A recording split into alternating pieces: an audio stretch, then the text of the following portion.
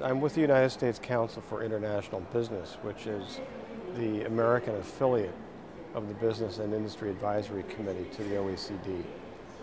And I'm president and CEO of, of USCIB. We are the American chapter of, of BIAC, but very active in, in what is known as BIACs, uh, Business and Industry Advisory Committees, uh, e-commerce and information technology work. Well, I decided to come because it's a very important conference in, in our view. It's, it's, to us, the OECD is an extremely important organization to help develop the kinds of guidelines and standards that uh, governments can, can put into place. And uh, this area is one that uh, OECD has been working on over the years and really I think has something to contribute to in terms of helping to create a framework for the internet to develop within.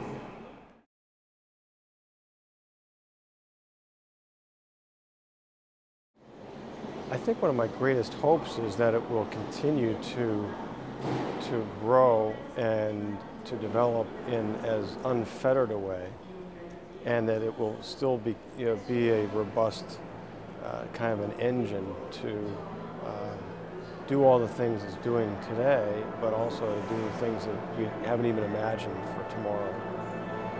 And I think it, it, be, it, began as something that was uh, much less than what it is today. It was kind of a tool in the new age of electronic commerce.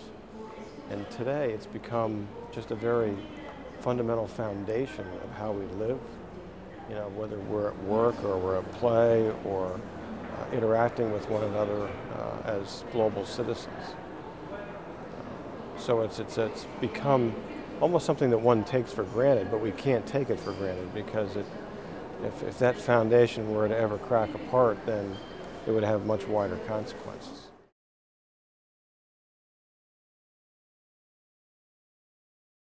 Well, I think that it, by its very, by its, by its nature, it has become more ingrained in the way people do business. Um, it's become much more of an everyday thing that you don't think of as taking off the shelf anymore to turn on and to use. It's something that you just normally take a stroll out into without even thinking about it.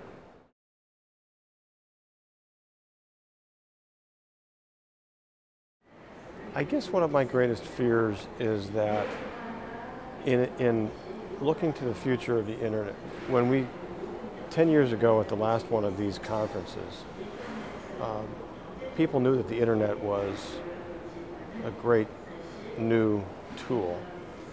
Um, and there were certainly lots of things they could not imagine about its development. But they all agreed that we should try to keep as, as open a, an environment for internet commerce as possible going forward. Um, and not to stray into too much regulation against unknown things that it could do. And I think that we have to, uh, one of my fears is that we would overregulate um, the internet because we don't want it to go into areas that are unforeseen. Um, I think we have a pretty good idea already of areas where the internet does provide some risks and, and threats, and we need to work together to, to make sure that we are able to limit and contain those.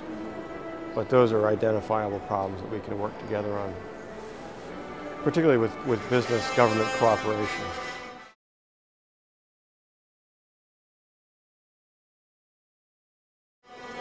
Well, I think that there needs to be uh, an environment in which companies who are providing the technical know-how and, and, innovation that fuels the internet's development are able to invest freely and to um, and to be able to exert their creativity and, and, have an atmosphere of innovation. We don't want to cut down on that uh, uh, uh, at environment of innovation. And we want to keep it as, as open a platform as possible for all users, no matter where they're coming from, to be able to benefit from.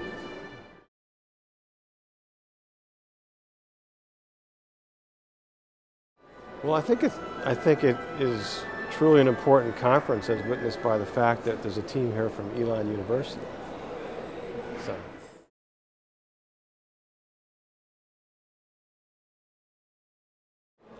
If I could describe the internet, the future of the internet in one word,